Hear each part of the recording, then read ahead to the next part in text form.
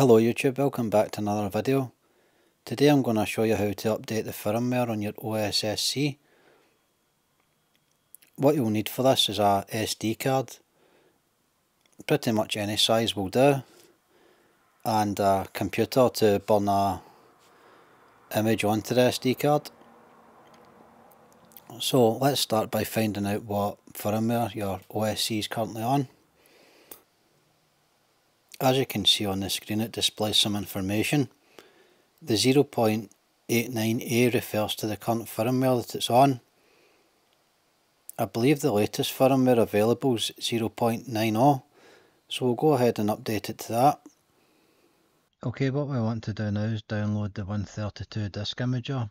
I've put the link down below for you. So what to do is download and install that.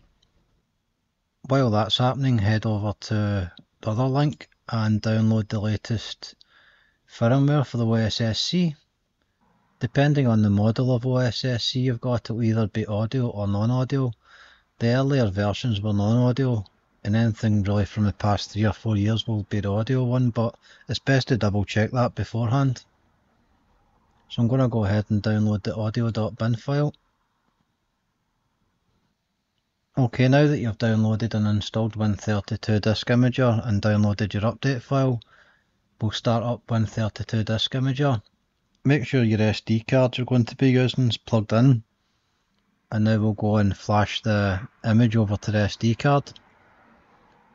So select the drive that your SD card is. Okay, now we'll, we'll locate where the, the image file is if it doesn't show up, just select the extension down to that one and it should show up now. So just select that and click open.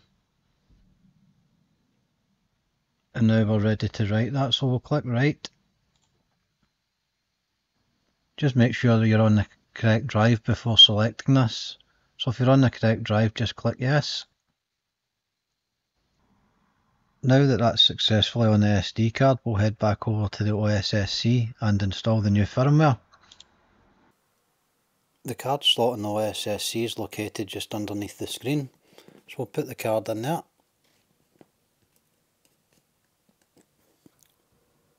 Now that that's done, we'll power up the device.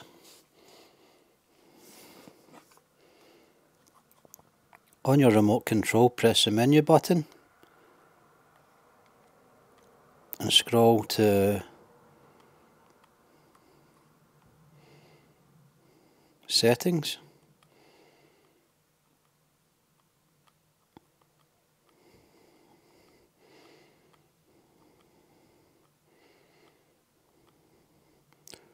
Until you find firmware, firmware update press OK.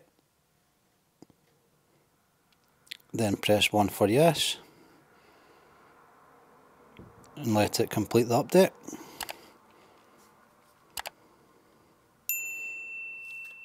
Now restart as instructed. As you can see from the display, the firmware update has been a success.